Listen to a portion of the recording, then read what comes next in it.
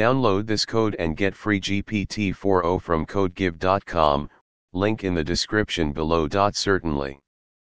When we talk about hatching beautiful rare Python babies in the context of programming, we might be referring to creating unique or special outputs in Python, likely with some creative or artistic touch.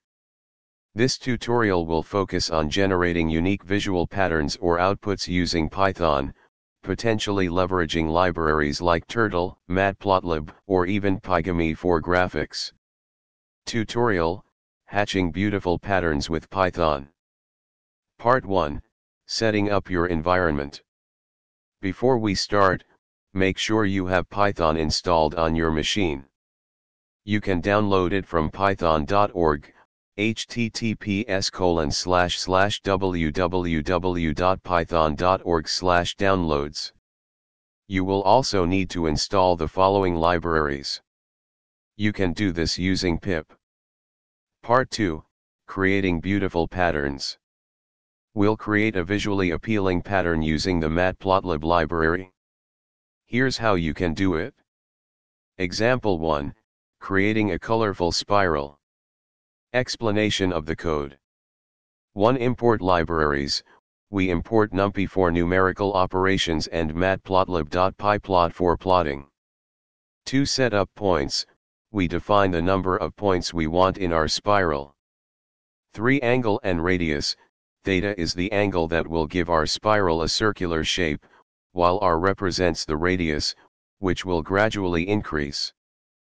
4. Cartesian coordinates, we convert polar coordinates to Cartesian coordinates using sine and cosine functions. 5. Color mapping, we use a color map to create visually appealing colors based on the radius. 6. Plotting, finally, we use scatter, to plot the points and customize the plot's appearance. Example 2, Flower Pattern. Here's another example where we generate a flower-like pattern. Explanation of the flower pattern code. 1. Petals, we define the number of petals for our flower. 2. Polar equation, the radius r is defined as a function of sin, which creates the petal shape. 3. Plotting, we use fill, to color the flower and hide the axis for a cleaner look. Conclusion In this tutorial, we learned how to create beautiful visual patterns using Python.